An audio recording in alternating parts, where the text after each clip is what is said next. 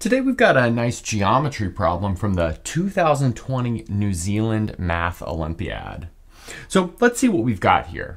So we want to let A, B, C, D be a square, and X is a point on line segment BC between B and C.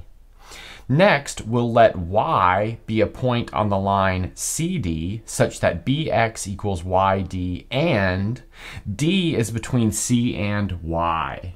So if you're keeping track of that, that means that y is on the ray containing c and d to the left of d by the picture that we're drawing.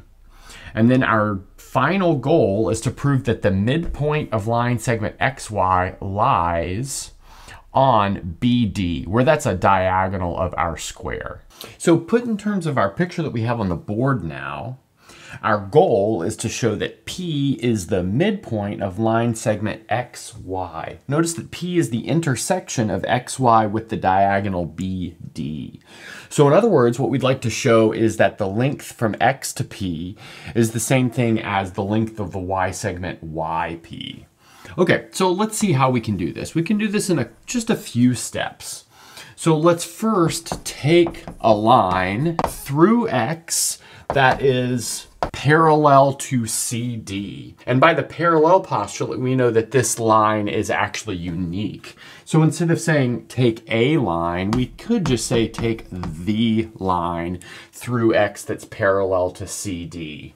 And then we'll see that it most definitely intersects BD, and we'll call that intersection Q. So let's say call the intersection with line segment BD Q. Okay, so let's get the Q on the board right now. So that means we need to extend this out so that it's parallel to CD, like I said. And then also, like I said, we'll call this point right here Q. Okay, nice.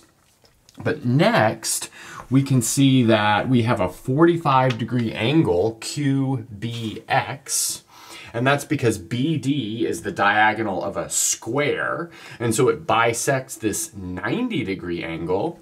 So that means clearly we have this triangle BXQ is isosceles. But that means that BX is equal to XQ. So we have BX is equal to XQ. But let's recall that BX is also equal to YD by our assumption. So I can put a little mark here to just indicate all of these are congruent line segments. Okay, nice. Then next we're gonna do a little bit of angle chasing. So let's maybe start with this. We have PQX. So PQX is congruent to angle PDY. So let's put PDY here. And why is that? Well, that's because XQ is parallel to CD, and this line segment DQ is like cutting across those two parallel lines. So let's put that in our list here. So angle PQX is congruent to angle PDY. And like I said, that's because line XQ is parallel to line CD. Okay, nice. Now we're gonna do a little bit more angle chasing. So next up, we'll see that this angle right here, let's see, that is QPX is congruent to this angle right here, which is DPY. And that's because they're kind of opposite each other in this point right here.